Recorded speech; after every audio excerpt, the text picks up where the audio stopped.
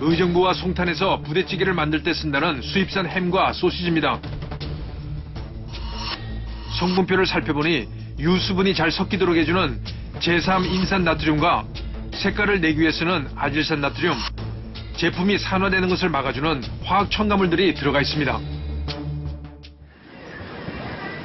그렇다면 국내산 제품들은 어떨까? 우리는 서울의 한 부대찌개 전문점을 찾아갔습니다. 국내산 햄과 소시지를 쓴다고 알려진 곳입니다. 잠시 후 주문한 부대찌개가 나옵니다.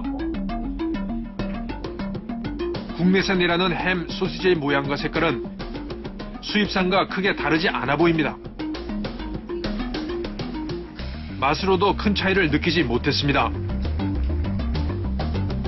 우리는 이곳에서 쓰는 햄과 소시지 제품을 자세히 살펴보기 위해 쓰레기를 수거했습니다. 그리고 봉투 안에서 소시지 포장지를 찾았습니다. 성분표를 자세히 살펴보니 수입산과 마찬가지로 다양한 화학 첨가물들이 들어가 있습니다.